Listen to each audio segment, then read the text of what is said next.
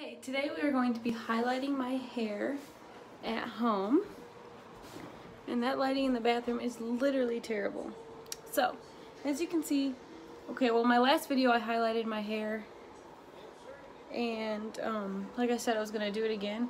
So, I'm going to do it again.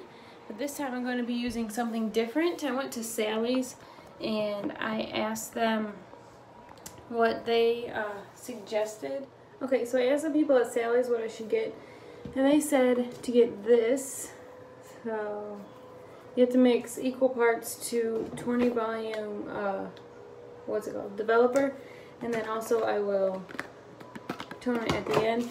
And again, I'm going to be using the cap.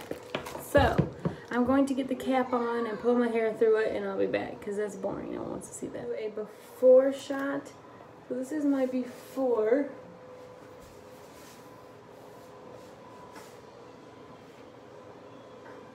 And then we will do an after.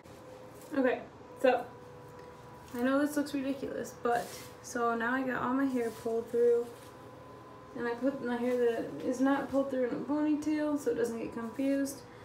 Now I'm going to be using this and she said just to mix, let me just on my glasses. She said just to mix like even parts of this and this. Okay, so I know I look crazy, but this is it. This lighting's horrible, so let's come out here for a second. This what it looks like.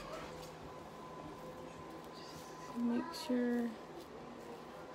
Oh. Checking the color.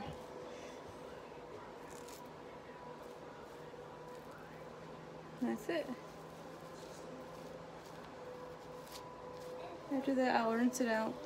Towel, towel dry it, tone it, wash it with the purple shampoo, and we'll be back. Okay.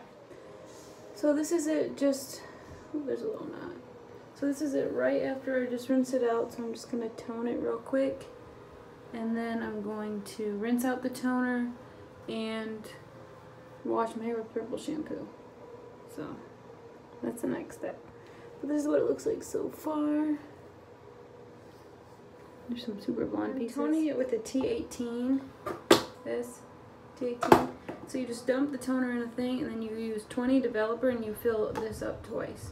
The toner in and I'm gonna leave it in there for about 10, 15 minutes probably. And then wash it out. This is a finished product. This is actually pretty good. Um, I like it. Eventually I'm gonna just like gradually go more blonde until I'm like 95% blonde and like a lighter blonde, but this is cute for now, obviously. Can't always keep down your hair, but I really like this. So that's pretty much it. Thanks for watching.